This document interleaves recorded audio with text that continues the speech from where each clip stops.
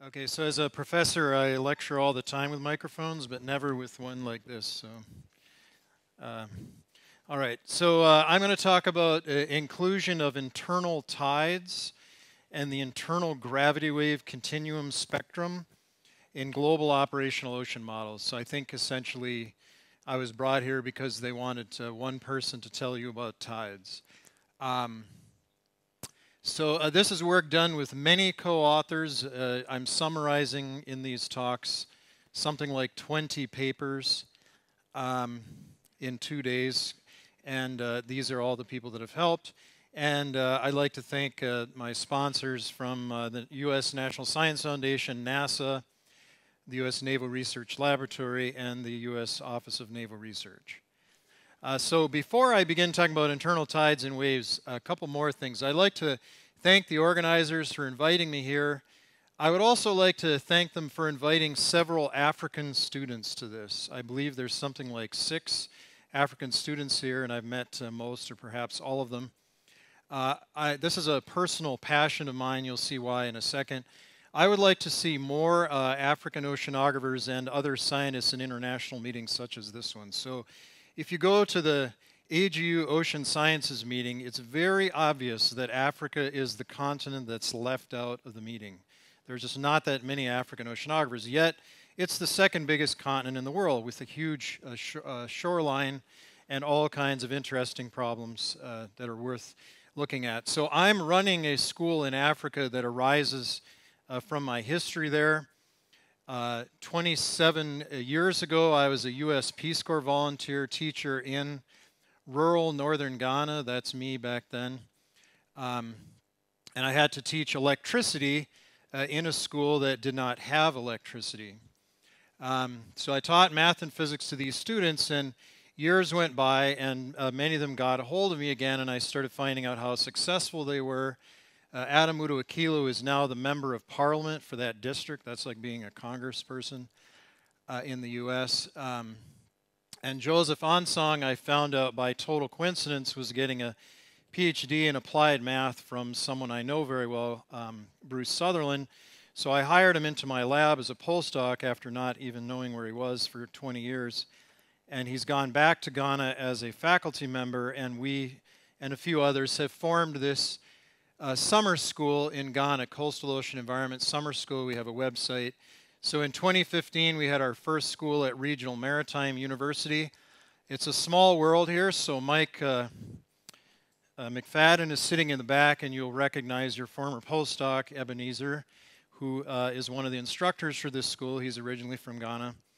And um, then the school got bigger in 2016 and uh, we, we did a field trip to the beach. That's Drew Lucas from Scripps. And we also had some labs.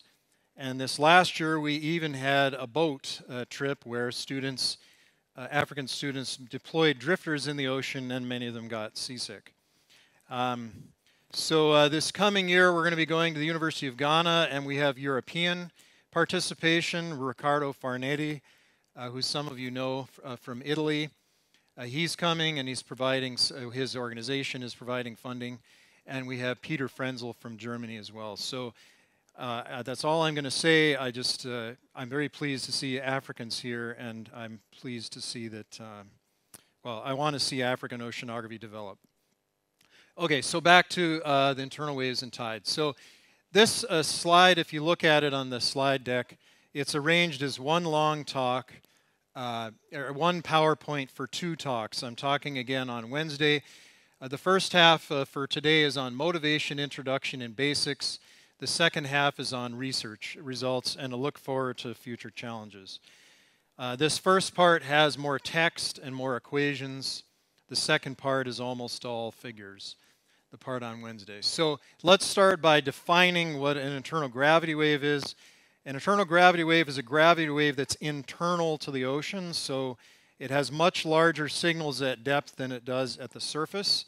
And I like to always say internal gravity waves instead of internal waves because there are internal waves that are not internal gravity waves, in other words, internal Rossby waves.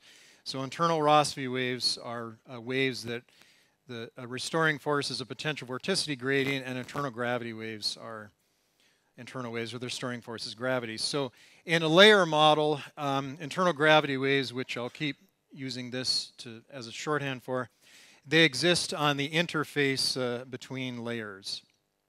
So as a little schematic to start off, this is from my colleague uh, Harper Simmons, who wrote this nice paper that I'm on, I'll show more of later. This is a schematic for layered models, so I'm sure you've all seen this kind of thing.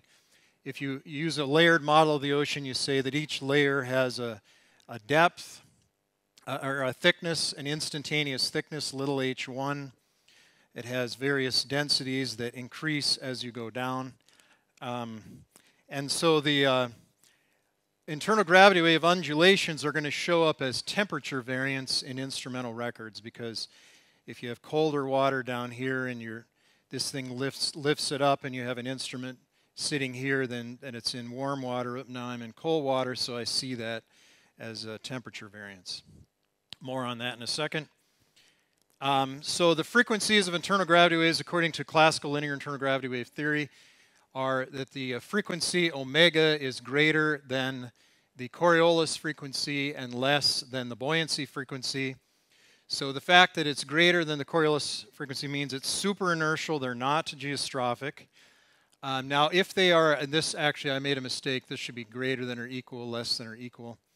Um, so uh, if the frequency is near F, then these are called near inertial waves, driven primarily by rapidly changing winds. If they have tidal frequency, then they're called internal tides. And these are driven by barotropic tidal flow over topography. So essentially what happens is that if you have flow over a bump, that's obviously going to cause vertical motions vertical motions in a stratified fluid implies that the interfaces move up and down at tidal frequencies. Now, beyond tidal frequencies, at supertidal frequencies, there's an internal gravity wave continuum, famously described by Garrett and Munk. And the classical picture there is that it's thought to arise from nonlinear interactions between near inertial waves and tides. So uh, I hope you've all seen that, you know, if you have a, a nonlinear term, just imagine you have cosine i omega t times cosine i omega t, then that gives you cosine i omega 1 t plus omega 2 t. The, the frequencies can add or subtract, and so you can quickly build up a spectrum of sum and difference frequencies. So the idea is you put energy in at a couple frequencies, and then non-interactions start spreading that energy around to all kinds of frequencies, and you fill the spectrum up. So here's an example, a temperature variance spectrum from a mooring in black and from three different global simulations of the MIT GCM, 112th degree, 124th degree, and 148th degree. So that, that's currently, as far as I know, the largest global simulation in the world, 148th degree. Uh, HYCOM, we've run 112th and 125th, but not yet uh, 148th. So if you look at this frequency spectra, uh, this is cycles per day. So one cycle per day is a diurnal tide. Two cycles per day is the semidiurnal tide. Subtidal frequencies are dominated by mesoscale eddies and currents. And this here is the Garrett-Munk spectrum, the supertidal stuff. And so the MIT model, you can see that as you increase the resolution from 112th degree to 124th degree to 148th degree, you inch closer to that internal gravity wave continuum spectrum. So this may not look like a particularly exciting plot, but um, two years ago, we published the first paper showing that models like the ones I'm going to describe here actually have a partial internal gravity wave continuum. So this is really new stuff. I mean, the fact that models can do this is just a few years old. Okay? Now, why should we care about global internal tide and internal gravity wave continuum models? So first of all, internal tides and internal gravity waves are important signals in operational oceanography. They're visible in many measurements. For instance, temperature variance measurements from moorings, just as one example of many. Um, they impact acoustics, which is why the U.S. Navy cares about it. The speed of sound is a sensitive function of temperature and salinity, so internal gravity waves and also mesoscale eddies affect uh, acoustics, which affects anti-submarine warfare. Um, they also can take submarines and push them up and down, just like when you're in an airplane and the pilot says there's turbulence. You know, it's the same kind of thing. Um, Okay, so reason number two is that global internal tide and uh, internal gravity of continuum modeling is important for the SWOT mission that I think you've been hearing about, right? That's been discussed. So uh, SWOT is going to measure length scales at uh, greater accuracy than uh, the Topex Poseidon series. So uh, some of you might not know this, but altimetry would not work without very accurate barotropic tide models that are used to so you use the altimeter to make the tide models and learn about tides, but then once you have the accurate maps, you subtract the tides out so that you can study all kinds of other interesting motions like El Nino and eddies and everything else.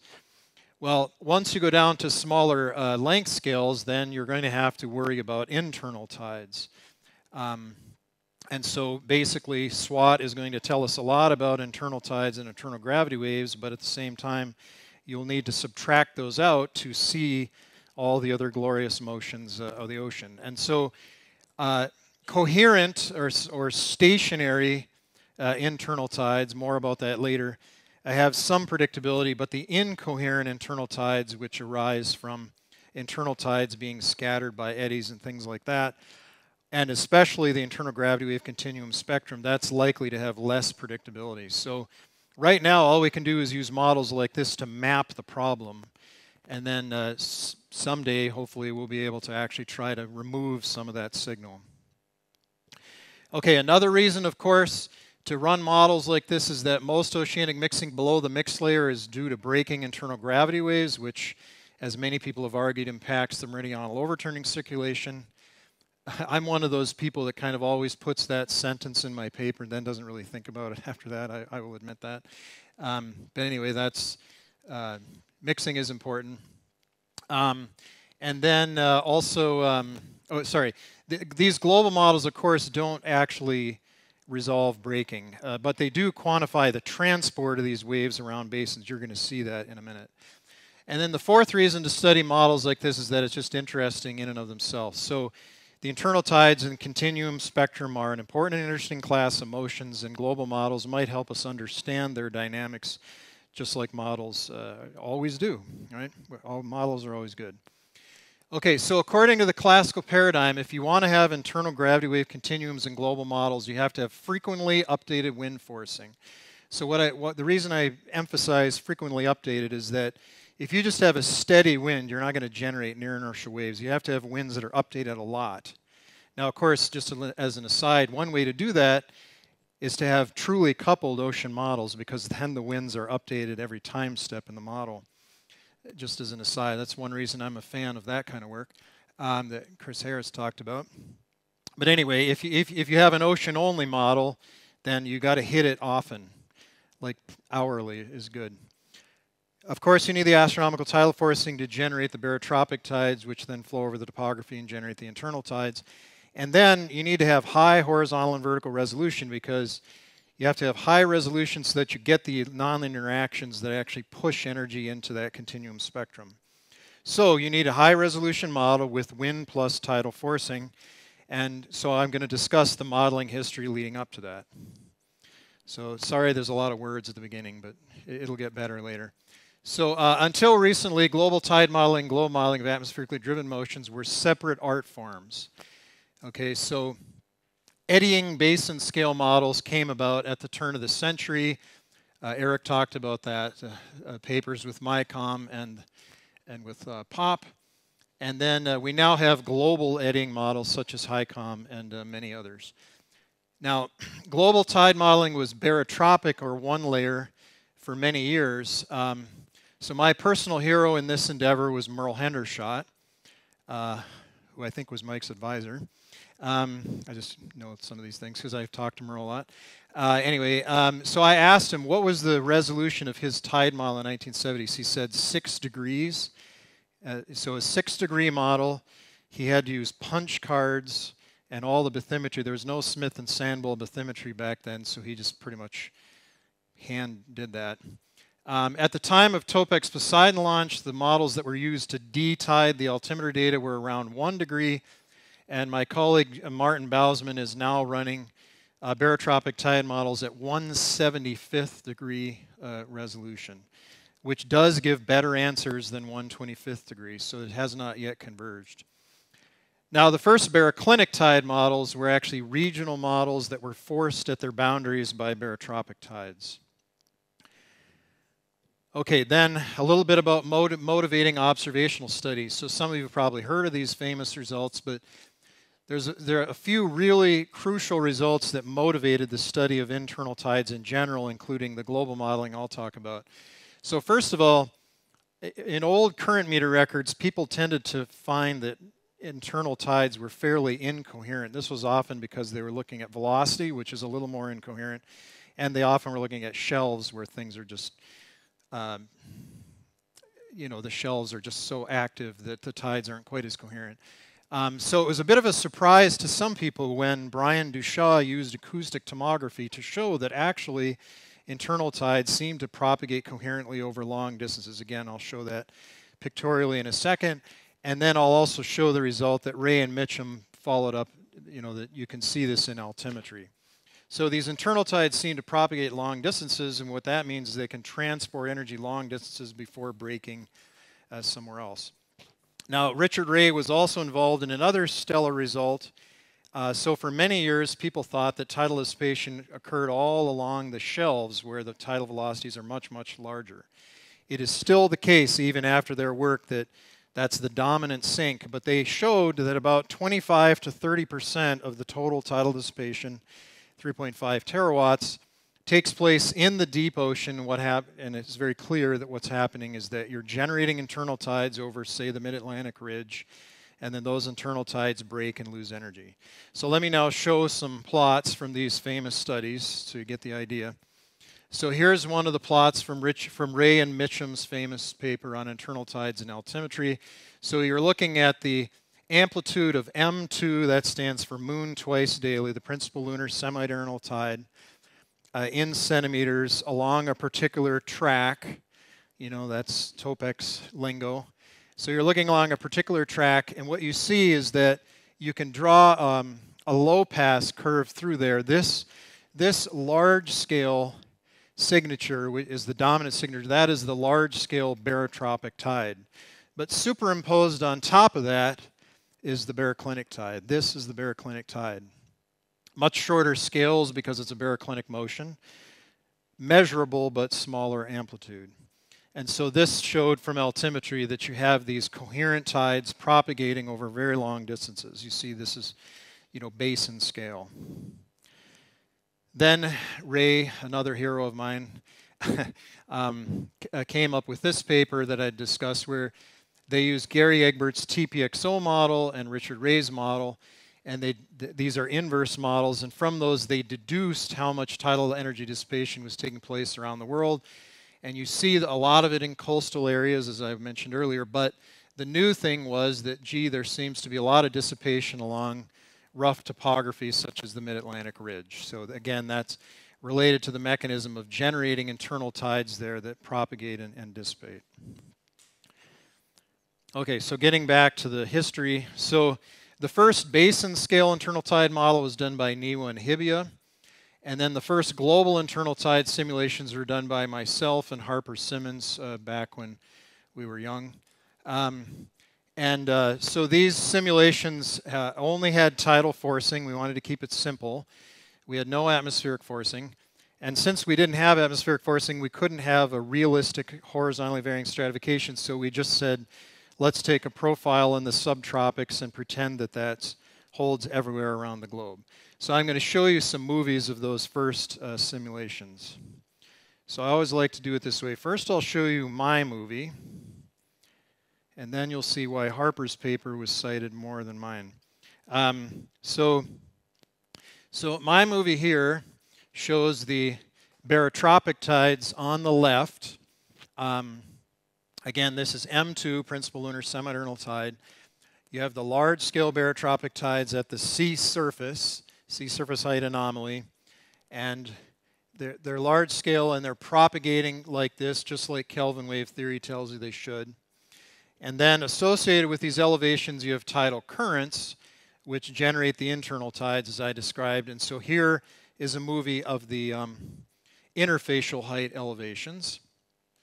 And so you can see that again that they have much um, smaller horizontal scale, and they have a larger vertical scale, so you have to multiply by 10. And this is actually really badly resolved, I realize now years later. A quarter degree is just, it's crazy that I published that. Um, you really have to have higher resolution to get these things. But anyway, so you see the internal waves. These are, these are the waves on the interface between layer one and layer two. And so now Harper, being a brilliant movie maker, did a, a better movie of the internal tides. So that one thing he did was he um, started from rest, and the other thing he did is just made a better color bar. So you see the um, the internal tides growing from rest. So again, the reds and the blues are highs and lows of the layer interface between layers. He also ran at higher resolution. And you can see this whole thing takes about 20 days. At the end of that 20 days, the internal tides have filled up the basin. So again, these are the first global simulations of this phenomena, and we showed these to people like Rob Pinkel and that who study mixing, and they got very excited. And, and um, anyway, so Harper and I have uh, done well from doing these simulations. Um, yeah.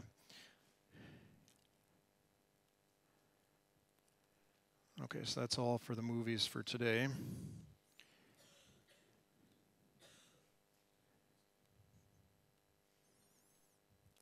All right, so last slide on the history, I think, or close to it. So it's common to include atmospheric and tidal forcing in coastal models. We, want, we have to say that. You know, coastal modelers were way ahead of global modelers in that uh, sense. But in global models, the first ones to have wind and tidal forcing, that, that's a typo, should say title. uh, were done with actually pretty coarse resolution. So the first ones to do at high resolution was uh, me working with my HYCOM collaborators. So these are the first ones where you had tides and winds at eddy resolving type resolutions. And so what that means is that um, you get mesoscale eddies, barotropic tides, and baroclinic tides all at the same time in the model. And I'll show a movie from that uh, next time. Right, okay, sorry. This is the last one on the history, I promise. So several groups are now doing these global wind plus tides runs at res high resolution. Uh, German group has done a little bit. Uh, Harper Simmons has continued to work with the GOLD model. And some of you have probably heard about these very impressive MIT simulations. I showed one result uh, earlier down a 148th degree global simulation with several petabytes of uh, output ran on 70,000 cores, all kinds of impressive numbers. Um, I've had personal communications from operational centers in France and the UK Met Office indicating that they also are gearing up to do this kind of run. So I think it's just inevitable that global models are going to start including tides uh, eventually. So the focus in the rest of these talks, uh, I'm going to talk about forward modeling of internal tides in the continuum spectrum in HYCOM and the MIT GCM. I'll show a few results employing a Kalman filter to improve the barotropic tides in HYCOM. Um, the ability of global models to partially resolve the continuum spectrum, as I mentioned, is only two years old. I mean, people didn't know you could do this until we published this two years ago, that you could do the continuum. Um, so the HYCOM wind plus tide simulations have been around longer. I'm comparing these two models now. We've been around longer. We've published way more often compared to observations a lot more. But the big advantage of their simulations, a huge advantage, is more resolution. So why, whereas the HYCOM goes up to 125th, they uh, go to 148th, and they also have more vertical layers. Um, they're also a little, e it's a little easier to get their output. Okay, so in terms of the forcing that you need for these models, I'll just briefly mention atmospheric forcing. So of course, this includes buoyancy forcing, like evaporation minus precipitation, air sea heat fluxes, and wind stress. So it's just important to just mention that all of that sets up the background stratification. So you're not going to get internal waves, which are waves in a stratified fluid, unless you have the stratification, which mostly is, well, almost all is coming from the atmospheric forcing. And as I mentioned, the atmospheric forcing also drives near inertial waves, amongst other things. It's worth a little brief digression that a third component that's not always done in global ocean models is to have atmospheric pressure loading. So um, atmospheric pressure loading drives motions across many frequencies, And there's actually thermal tides in the atmosphere I can describe later if you're interested in these details. Uh, but the atmospheric S1 thermal tide pressure forcing on the ocean drives an oceanic S1 tide. That's exactly 24 hour period. And the atmospheric S2 thermal tide pressure forcing accounts for about 15% of the oceanic S2 tide. Uh, this is the only paper in my career that doesn't have any co authors. Um, so, um, it, but it, anyway, so I show that it's like 15% of that tide, which happens to be the second largest tide in the ocean. Okay, I want to mention another thing is bathymetry. So, bathymetry is crucial for internal tides as well as pretty much everything else in the ocean. And so, it's worth pointing out that all global bathymetries are, that I know of, at least, are based upon the Smith and Sandwell database with regional patches. They use acoustic soundings uh, where they're available and altimetry elsewhere. So you can use altimetry. One of the you know, altimetry does so many things, including bathymetry, because mass anomalies will drive sea surface height anomalies. So to them, everything else is noise, but they can pick out the bathymetry. And the reason that's important is because ship soundings are not as um, uh, available as you might think. So here is this map is essentially a density of ship soundings in the North Atlantic, which is the best sampled basin in the world. And so these are places where campaigns have gone out by marine geophysicists to look in detail at the mid-ocean ridges, but look at what's happening elsewhere. So how do you fill in this data? Well, you use altimetry. Okay. So it's just worth pointing out that um, Altimetry, a favorite tool of many of us, uh, is used for uh, uh, bathymetry. But it doesn't pick up scales less than about 10 to 20 kilometers. Okay, so, um, and that's important because those, that smaller scale roughness actually does generate a lot of internal wave activity, including internal tides. So that's actually something that's totally missing from, well, not totally, but almost totally, except for a few spots, missing from global data sets. Um, so it's just worth remembering that our ability to run high resolution models has already far outstripped the, the true feature resolution of the bathymetry underneath. Um, and so uh, John Goff, who's one of the masters of this kind of marine geophysics, wrote a paper with me uh, saying that you know you can fill that in with statistical techniques if, if you're interested. I just wanted to mention that briefly. Okay, so the astronomical tidal forcing. So this is the sentence, and then I'll show some pictures. Um, tides are due to the differential gravitational force of a distant body across a body of finite size, like the Earth. So the Earth has finite size, the moon is over here, and the moon's gravity is different at different places on the Earth. So, so let's make some guesses about the tidal formula dependencies. So, uh, what's Newton's law of gravity? What's the formula?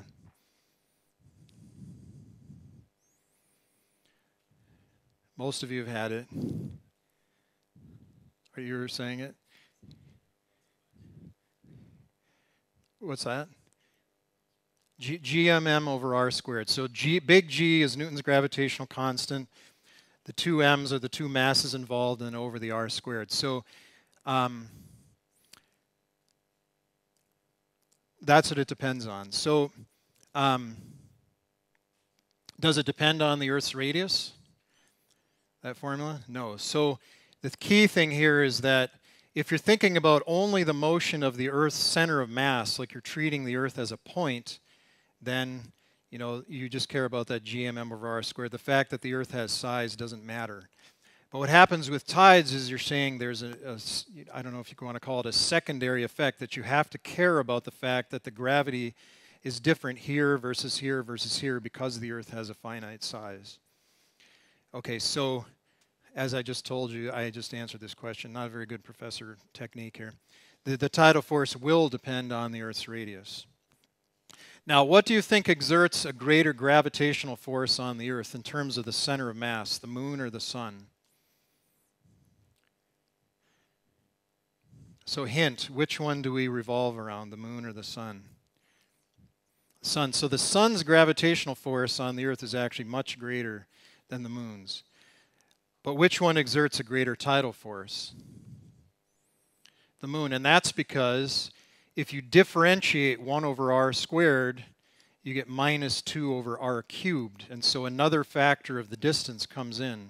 So in terms of the tidal force, the moon wins, but in terms of the raw gravitational force, the sun wins.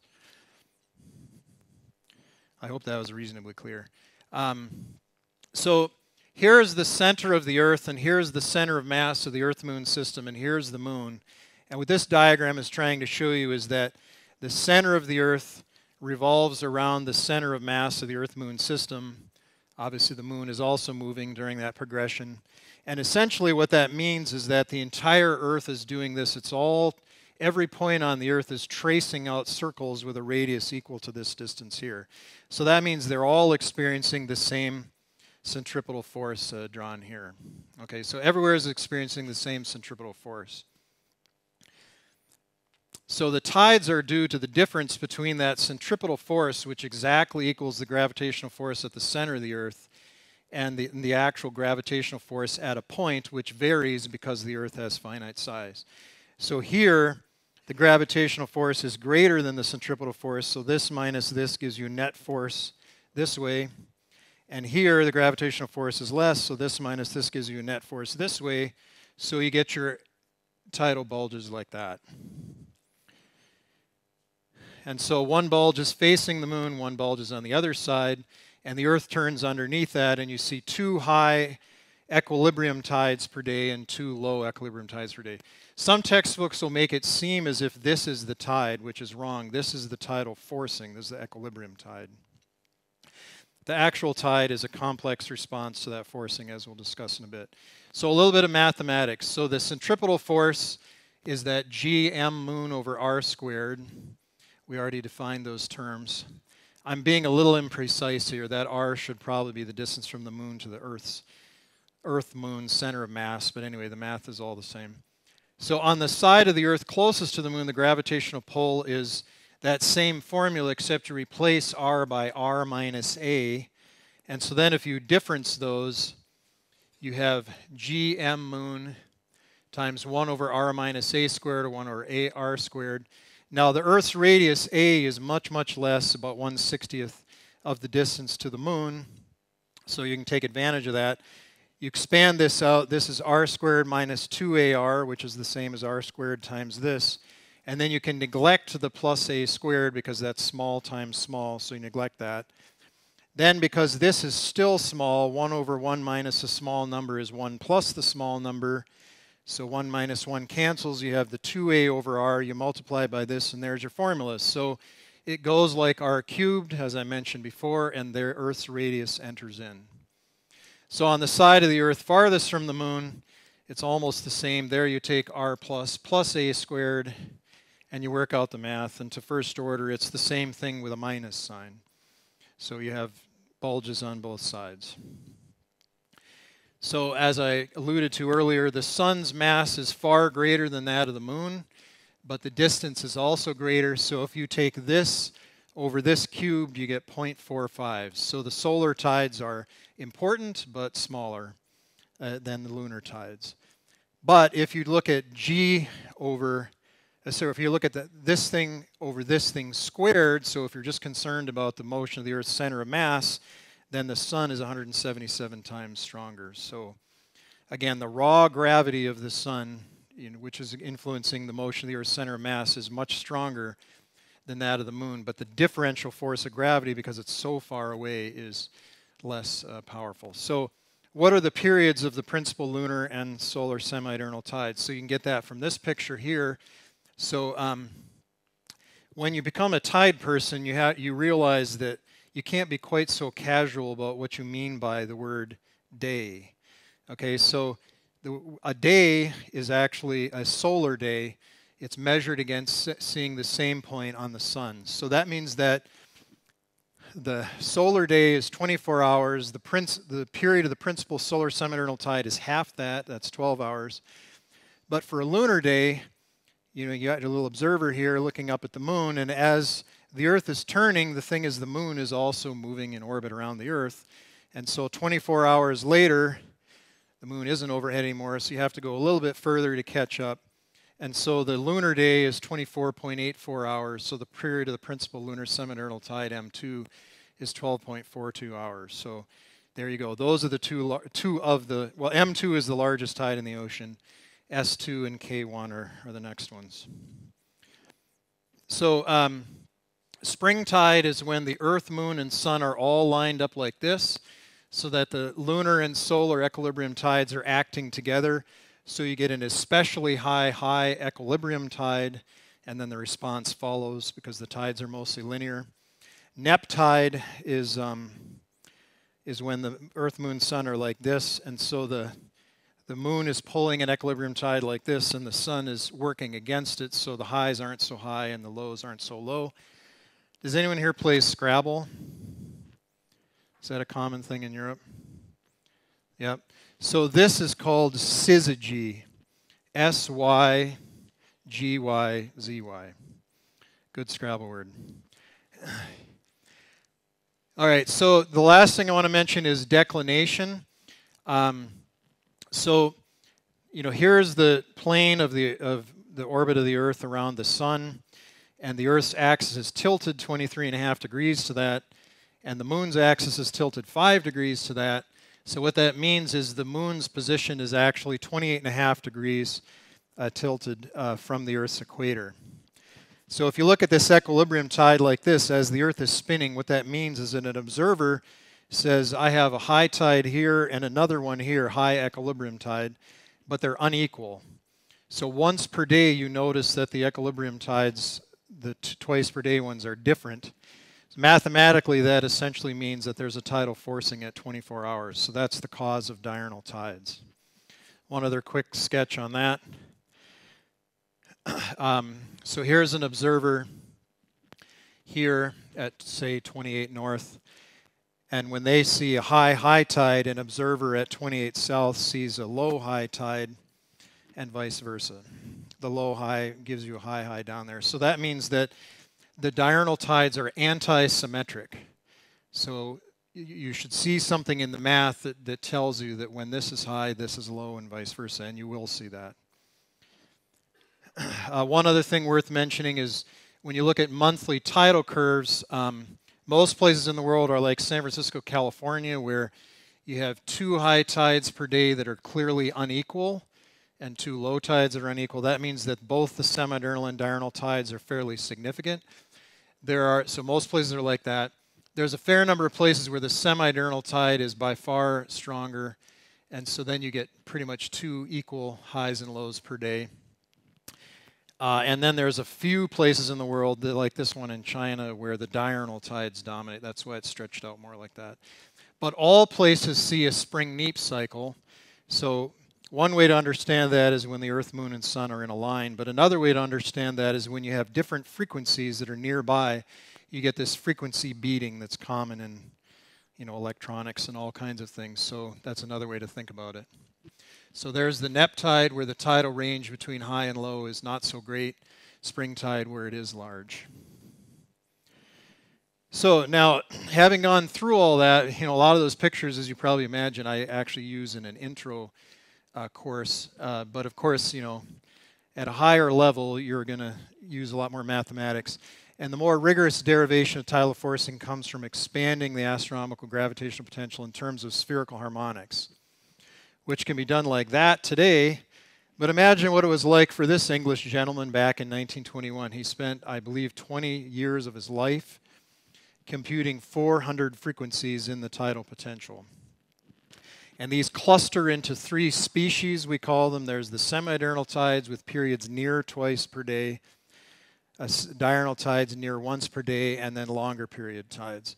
And all these frequencies, these 400 frequencies, they represent multiple sums and differences of the various frequencies in the Earth, Moon, Sun system. There's a lot more than you realize. You know, there's a month, a lunar day, a solar day.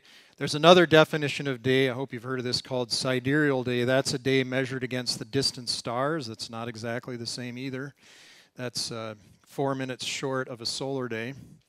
So that one comes in. Anyway, there's all these different, so sums, multiples, differences of all that.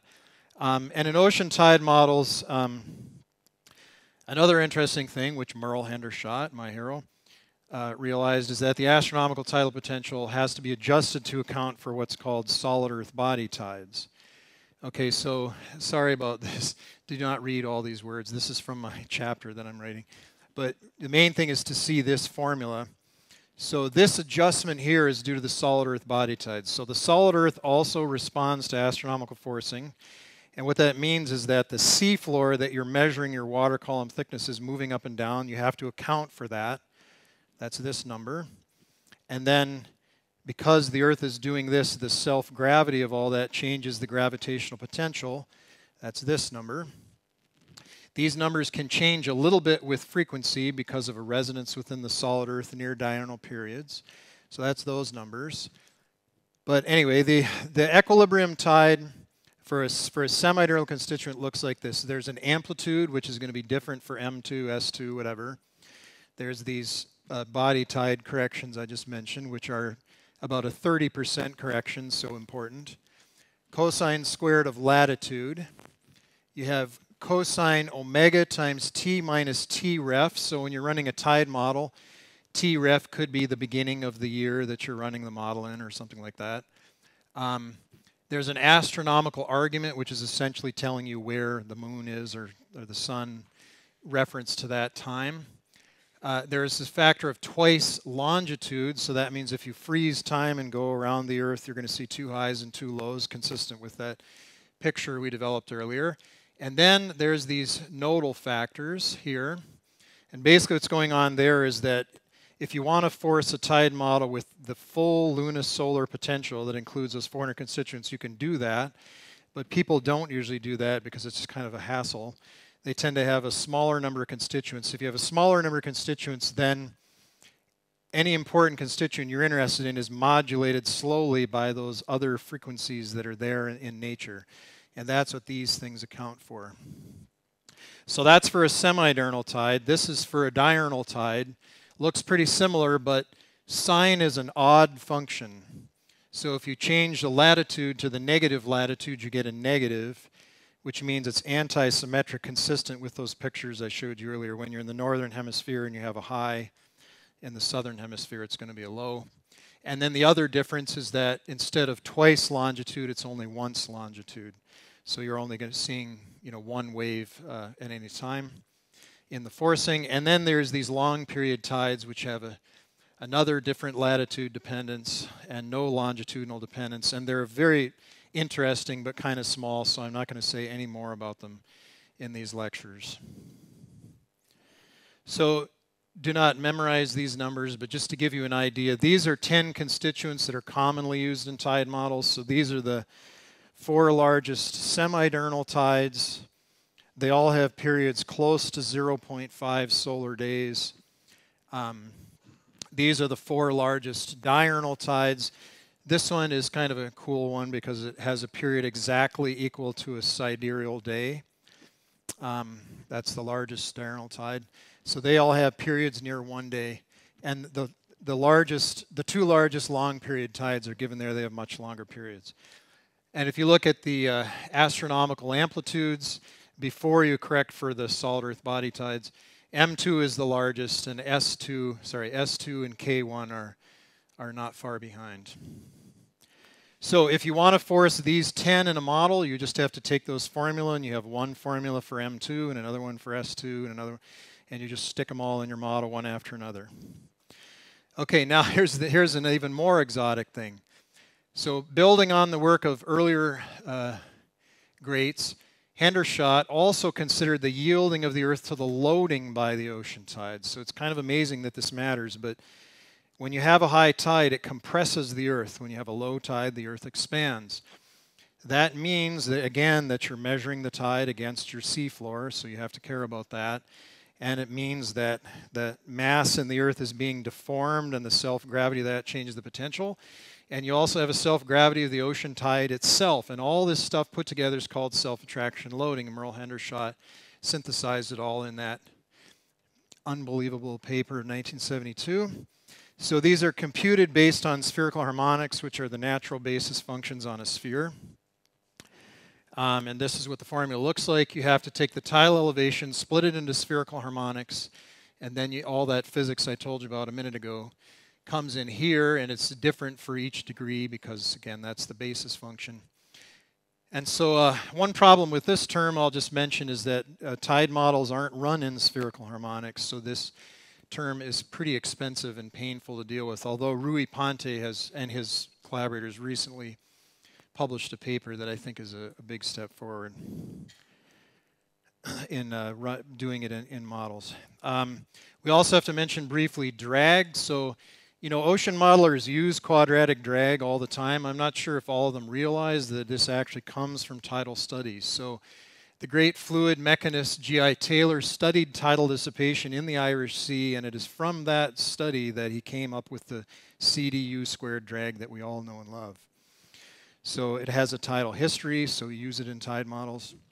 As I mentioned, it dissipates tidal energy primarily on shells. Now, since this wonderful paper by Steve Jayne and Lou St. Laurent, many of us, when we run forward barotropic tide models, we include a parameterized topographic internal wave drag. So essentially, we're saying we know we generate internal waves over rough topography, as Egbert and Ray showed. So we parameterize that and put it as a drag term in our models. I won't show you the math, but I'll just tell you that. Um, one important philosophical question that we still argue about, all of us, is whether global internal tide models, which are resolving some of the internal tide motions, should actually include a wave drag. So the idea is maybe if you're resolving some n parameterizing, maybe you're double counting. Um, I've consistently argued they still need it, and my argument has been, and not everyone buys this, I will honestly tell you, my argument has been that you're generating some of the spectrum, but you're not, you're not resolving any of the breaking. And so you, I think you still have to have something in there as a damping mechanism. But I, again, not everyone buys that argument. More on that in the second talk. Uh, now, uh, the oceanic tides do not equal that equilibrium tide for several reasons. So tides travel as shallow water waves, square root g times the depth. The ocean is not deep enough for the shallow water waves to travel fast enough to actually keep up with the moon. They can't do it. That's reason number one. But there are other reasons. Continents get in the way. You can't have that bulge thing going all around the Earth when you have continents. You have friction, you have a Coriolis force, and then you have uh, Myrl's solid Earth body and load tide. Merle didn't invent those things. He just said you got to put them in an ocean tide model. That was what he did. but anyway, all those complications mean that the real response is complex. It's a dynamical response to the equilibrium tidal forcing that in here's the equations that you use, for instance, for a one-layer tide model. So most of you have seen the shallow water equations. You have du dt, that's velocity. You have nonlinear advection, of course. There's Coriolis. And a lot of times when you're running a shallow water model, you just stop there, but the gradient of the sea surface perturbation. But when you're running a tide model, you have to reference that against the Newton-Laplace equilibrium tide and the Hendershott SAL term. Um, I've never said this in front of Myrl, but I just, if you think about it, like, you know, Navier-Stokes, Coriolis, Newton-Laplace, Hendershott. Um, anyway, um, here's your eddy viscosity. There's your Taylor quadratic drag, and there's um, a tensor form of the uh, wave drag, which you know, spatially varying wave drag over rough topography. And there, there's your usual mass conservation equation resting height, perturbation height. You've all seen that kind of stuff before. Uh, I think I'm almost done with formulas. Um, just a couple more. Because the tides are periodic, we can write a lot of tidal things as amplitude maps of latitude and longitude times that um, nodal factor, if appropriate, cosine omega t minus t reference, the astronomical argument, the other nodal factor, minus a phase. So the main thing here is we're just saying that, forgetting all that other stuff, you, you can make an amplitude map and you can make a phase map. So here's an instance of that, example of that. So this is one of the great tide models by Gary Egbert, the TPXO model, one of the um, most widely used models. So here in Europe, the FES model of Florent Lyard is another great one. Anyway, um, so this is what the amplitudes look like. And if you remember that one movie where I showed these things moving around, you remember they had large scales. And these are the phase lines. So basically that's meaning that as those blobs travel around as Kelvin waves, they're here. You have a high tide here, then here, then here, then here. That's what these phase lines represent. So um, a lot of times with tidal variables, we can make maps like this. So, so here is a map for the M2 sea surface height elevations. You can make another map for the K1 elevations and another one for the S2 elevations and so forth. And so the more constituents you have, it can start getting out of hand. Um, and this is just the elevations. Then you have currents. But anyway, you get the idea. These sort of things are used all the time in the tidal literature. Um, and I think this is the last formula. Um, incredibly brief synopsis of internal gravity wave theory.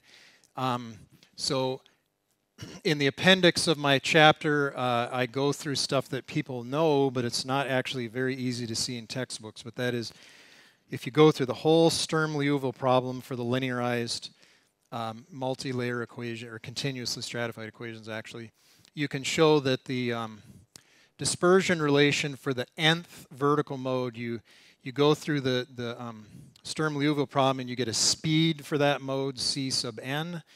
And so the frequency squared is equal f squared, that's Coriolis, plus that speed that you find from the Sturm-Liouville problem times the wave number squared. So that's a lot like the uh, classic, um, even more classic, uh, uh, surface gravity wave dispersion relation, which is F Poincare wave, some people call it, which is F squared plus GHK squared, where GH is the square the speed in that case. So it looks just like that, except you have to solve a Sturm-Liouville problem to get that when you have general stratification. If you have constant stratification, it, it simplifies. And the other thing I want to mention is that Garrett and Munk um, have a very detailed model, so it's a little embarrassing that I'm only, I only have one sentence on it, but just I just want to say that they say that that internal gravity wave continuum spectrum should fall off as frequency to the minus 2 and as vertical uh, wave number to the minus 2. Let me see where I'm at here. Um, oh, yeah. Awesome. So this is about, I just want to do two more slides, Jock, and then I'll be done for today. It's a natural breaking point. So I love tides, and, and I don't just do internal tides, I also do barotropic tides, and this is maybe a fun way to end, end this first lecture. So um, tides are thought to be resonant. Uh, many of us have written papers on this long before me, and I've also written about it. So the reason, one of the reasons we think that is physical. That the square root GH formula, if you take the open ocean depth of 4,000 meters, you get, you know, 10 times 4,000 is 40,000. Square root of that is 200. So 200 meters a second. That's how fast it travels. So just as an exercise, if you're interested in this, Take a typical basin length and divide it by 200 meters per second, and you will find that the time it takes to cross is not too different from the forcing periods of 12 to 24 hours. So some of us think that the open ocean is in resonance, and this guy Platzman wrote this amazing stuff about how the ocean has these normal modes that ring, and they actually seem to explain the tides pretty well. Now, what happens in coastal areas then the depth is much, much less, so the speed is much smaller. But if you have dimensions of a bay that are just right, you can also get that the time it takes for things to go in and out is similar to the forcing period. And so you can get whopping big tides in certain coastal areas. So this is another reason it's fun to study tides. This is not internal tides, barotropic tides. But as you know, there are places like this in Europe. There are places in the world where the tides are really, really big. And so, um, anyway, so there's lots of interesting uh, studies on tidal resonance. Uh, not nothing to do with internal tides; it's barotropic tides. But tides are fun, and uh, let's have dinner.